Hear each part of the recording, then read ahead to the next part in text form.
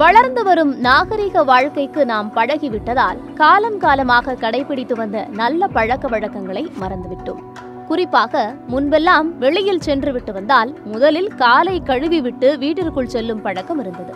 தற்போது முற்றிலும் அந்த பழக்கம் மறைந்துவிட்டது தற்போது சிலர் வெளியில் சென்றுவிட்டு அதே செருப்புடன் வீட்டின் சமையலறை வரை செல்வார்கள்.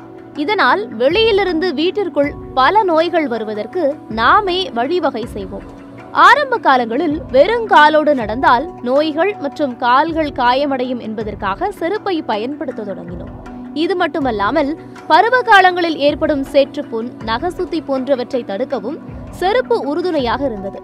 தற்போது மாறி வரும் உணவு பழக்க வழக்கங்களால் குறைந்தது நான்கில் ஒருவருக்கு சர்க்கரை வியாதி உள்ளது.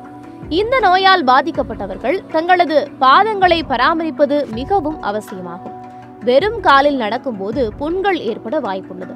இதனால் அவர்கள் எப்போதும் செருப்பு பயன்படுத்துவது அவசியம். வீட்டிற்குள் பயன்படுத்துவதற்கென்று தனியாக செருப்பு வைத்துக் கொள்ள வேண்டும். இந்த செருப்பை வீட்டை விட்டு எங்கேயும் எடுத்துச் செல்லக்கூடாது. அதேபோல் வீட்டிற்குள் கழிவறை இருந்தால் அதற்கு தனியாக செருப்பை பயன்படுத்த வேண்டும். அவற்றை வீட்டிற்கு போட்டுக்கொண்டு நடக்கக்கூடாது.